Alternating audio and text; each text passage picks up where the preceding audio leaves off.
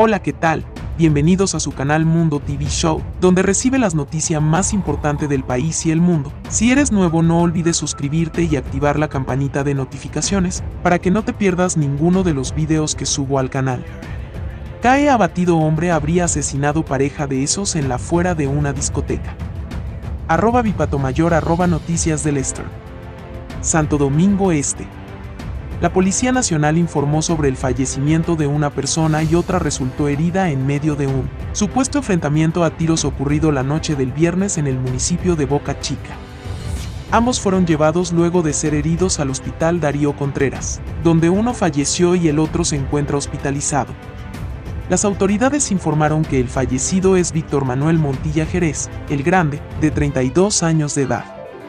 El grande estaba siendo activamente buscado por dar muerte a una pareja de esposos. Luego de que la pareja sostuviera una discusión, no se informó con quién. En el interior de un centro de diversión, en el sector Los Guaricanos, de Santo Domingo Norte.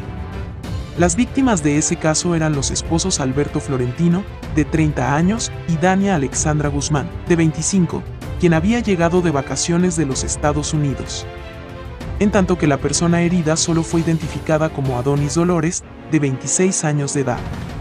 La parte policial agrega que ambos hombres viajaban en un carro Toyota Corolla, color negro y que al momento de ver la presencia de agentes del D-Crim se desmontaron disparando por lo que tuvieron que ser enfrentados. Por Daniel Merana roba noticia. Policía captura hombre vinculado al asesinato de joven en la Llaguita de Pastor. Santiago, miembros de la Dirección Regional Cibao Central de la Policía Nacional, pusieron bajo arresto al antisocial Adelín Martínez Pérez, quien era activamente perseguido por tener vínculos relacionados al asesinato del delincuente Dioris Vázquez. Al momento de su captura se le ocupó el arma de fuego del hoyo oxiso, luego de haberla sustraído posteriormente al crimen. El reporte preliminar explica que Dioris Vázquez, hoyo oxiso, tenía horas que había salido de la cárcel pública de la fortaleza Palo Hincado de la ciudad de Cotuí, tras haber cumplido una condena de cinco años de prisión por el homicidio de un pariente del victimario en el 2017, por lo que se presume que móvil del hecho se debió a represalias y ajuste de cuentas. En cuanto al detenido, al ser depurado en nuestros archivos figura con registros por robo, el mismo junto al arma ocupada están en poder del Ministerio Público para los fines de ley correspondiente. La policía trabaja en la búsqueda de los demás implicados en la muerte de Dioris, para apresarlo y someterlo a la justicia.